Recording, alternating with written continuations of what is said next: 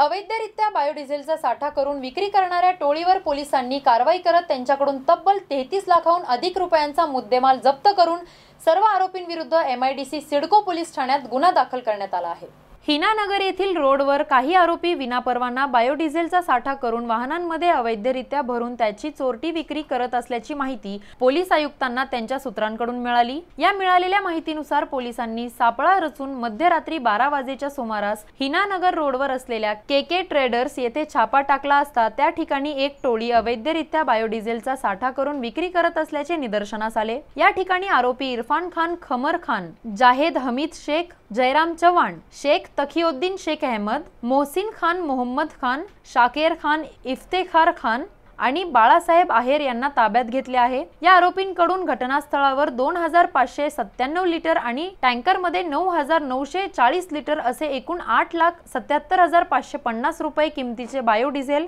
तीन लाख सत्तावीस हजार साठ रोख रक्कम एकवीस लाख चार हजार सातशे रुपये किमतीचे वाहन आणि मोबाईल असे एकूण तेहतीस लाख नऊ हजार तीनशे दहा रुपयांचा मुद्देमाल आरोपींकडून हस्तगत करण्यात आला असून आरोपींविरोधात एमआयडीसी सिडको पोलीस ठाण्यात गुन्हा दाखल करण्यात आला आहे.